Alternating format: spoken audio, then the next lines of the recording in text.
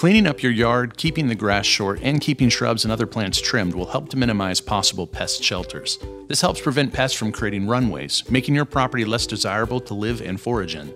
Here are some tips to follow.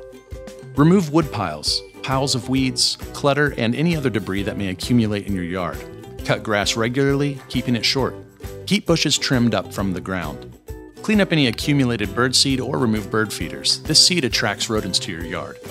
And it's that easy with the expert help from DoMyOwnPestControl.com. Subscribe to our channel for more DIY and product videos.